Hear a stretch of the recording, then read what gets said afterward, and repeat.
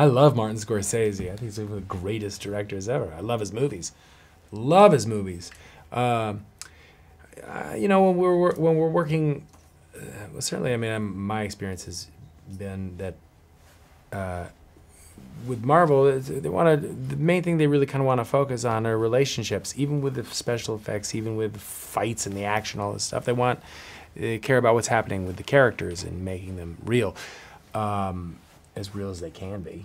Uh, so I, I- you know, I, I don't really.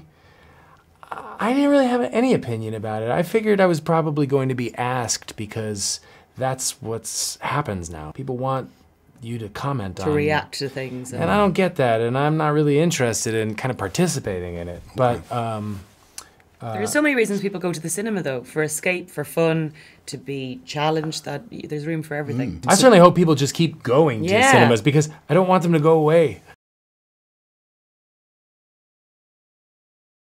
And what's so nice about our show is that because of the way Tim's done storytelling, he messes around with time and and you think, oh, this is going to be linear, or I already know what's going to happen at the end. She's going to find out, like you were saying, but then it switches back and forth, and to not know what's going to happen, that that keeps you eager and watching. Yeah, I th- I thought as I was starting to read these because when I read they were all written, all eight of them when I when I first got them.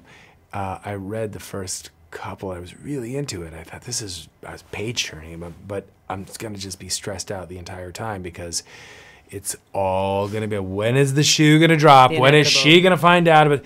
And uh, you know, and then I'm like just reading the third episode. It's like, Wait, what? Oh my god!